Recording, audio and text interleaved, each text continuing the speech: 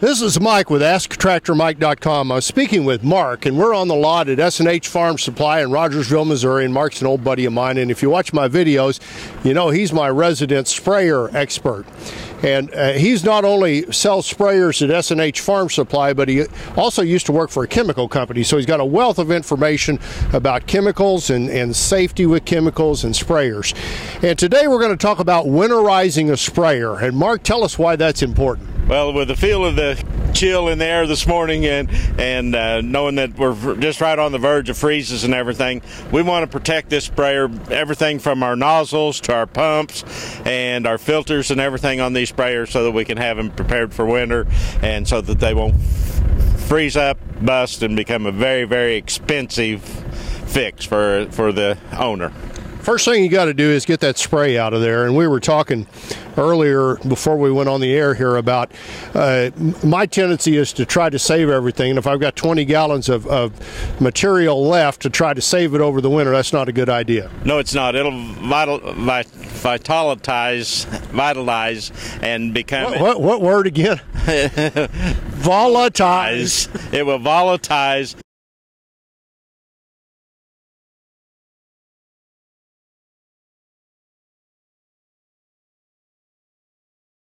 and, and, then it'll start separating the chemical from the waters, and the chemicals that are in the chemical itself will separate out, freeze, turn to crystals, and then it'll never go back into suspension right.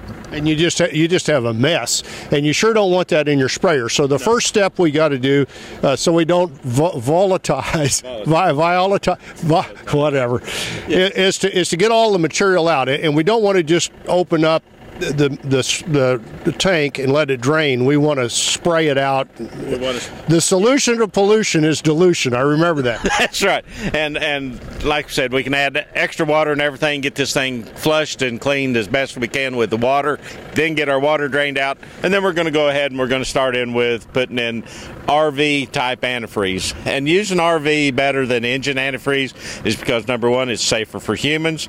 Number two, RV antifreeze is safer for animals, pets, and everything crops and the whole environment using RV antifreeze. Yeah, do, do not put regular antifreeze in. Don't. Bad, bad idea. Now I'm tangled up in the mic cord. So we're going to use RV antifreeze, and this is safe for the environment because after we're done with this next spring, it's going to come back out. Yes, it is. We're going to add water, and that's one of the most important things come next spring. And hopefully, we'll do another video or something as to how we're going to bring that machine back down out of out of winterization and get it ready for our spring spraying season. So, but right now, uh, today we are going to go ahead and we're going to load the machine with two gallon. This is a, a 200 or a 300 gallon tank. We're going to put two gallons in it, and then we're going to turn the pumps on and we're going to run this through the whole system and get it antifreezed up and everything. Now, how do you know to use two gallon? Is there a kind of a formula you use, or you just want it good and circulated through the system?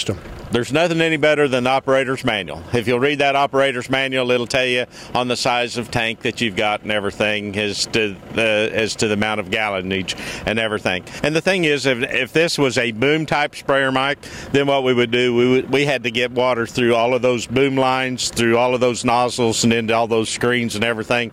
So we'd probably have to go up to three to four gallons on a boom type sprayer. And and and one thing to understand, if you don't drain your sprayer, and and the pump cracks, which it will if, if it gets cold where you are. Uh, that uh, your your warranty is voided. Yes, yes. Uh, a, a, frozen system completely voids all manufacturer warranties. Fittings, everything is all void. And and uh, they're not cheap to fix. No, they're not. We're going to show you dumping the uh, the RV antifreeze in, and then we're going to circulate it through the system.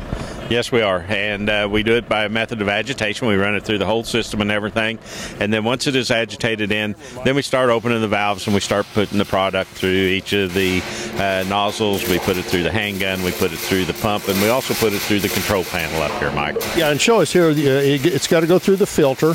Yeah, Yes, first off, it's coming out of the tank, coming into this brass fitting, which brass will freeze and bust, so we want that antifreeze in there. We also want it in this plastic filter system. Then we want it to move on from there. We want it to go up. We want it to come into the pump. Once it leaves the pump, it's going to come out and we're going to run it up. We're going to go into our control panel up here Uh, then we're going to also pull our handgun. We're going to get it to go through the handgun by opening up the handgun, getting it to go through the handgun. Then we're going to turn on our back uh, valves back here, our back uh, boomless nozzles, and then we're going to get it to go through our boomless nozzles. And once we do that, our system is winterized. So this this tank is ready to go through the winter, and uh, and uh, we'll talk next spring about what to do whenever you take it out of hibernation. That's right. We sure will. I survive on web traffic. I appreciate you watching my videos. I'd be honored if you'd subscribe to my YouTube channel and like my Facebook page and share this video with other tractor enthusiasts. And if you have questions or comments, put them down below. We'll try to answer them. Thanks for watching.